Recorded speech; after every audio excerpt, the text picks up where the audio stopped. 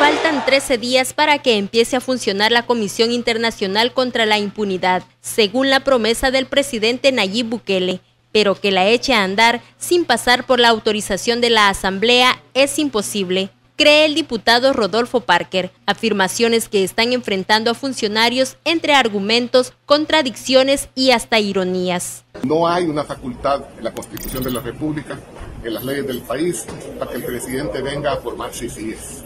No lo puede hacer.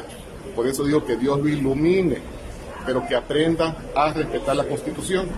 Y esperamos que esto ocurra antes de que vuelva a nevar en el desierto del Sahara. A ese planteamiento, esta publicación ha sido la respuesta del mandatario y del vicepresidente este otro mensaje, en el que reitera que no hay marcha atrás, que habrá CICIES para combatir la corrupción y hasta la promesa de recuperar el dinero robado.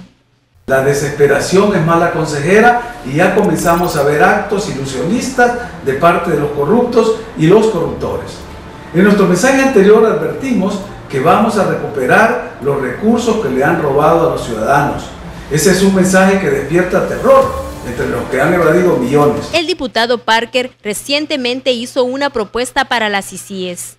Esta semana ya hemos sido testigos de la primera caricatura que presentó un diputado para evitar que se investigue a algunos malos empresarios que desde el sector privado históricamente han evadido y eludido millones en impuestos y no nos va a temblar la mano. Las ICIES va.